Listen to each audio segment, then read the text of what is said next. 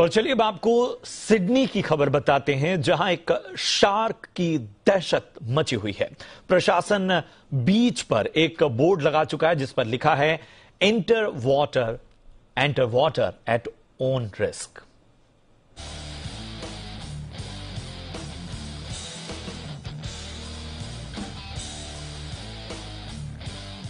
ऑस्ट्रेलियाई शहर सिडनी के लिटिल बे बीच पर इन दिनों शार्क की दहशत है।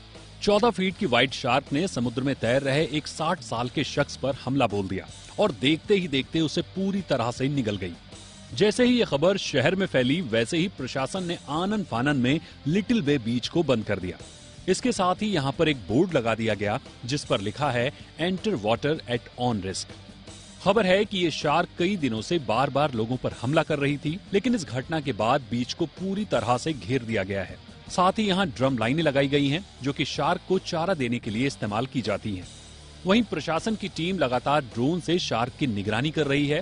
पुलिस ने अभी तक शार्क का निवाला बने तैराक की पहचान उजागर नहीं की है। आदमखोर शार्कों की कहानी किस्से तो खूब मशहूर हैं, लेकिन असल ज़िंदगी में शार्क को शांत और इंसानों से दूरी बनाने वाले जलचर के तौर पर जाना जाता है। हालाँकि इसी बीच पर शार्क ने पहले भी कई लोगों को निशाना बनाया है। एक रिपोर्ट के मुताबिक साल उन्नीस में शार्क के हमले से एक व्यक्ति की मौत हुई थी। उसी साल एक शार्क ने अभिनेत्री मार्सिया हैथवे को घायल कर दिया था। बाद में उनकी मौत हो गई थी। अब करीब 60 साल बाद अचानक इस घटना ने लोगों के दिलों में शार्क की दहशत पैदा कर दी है। Bureau report, Zee media.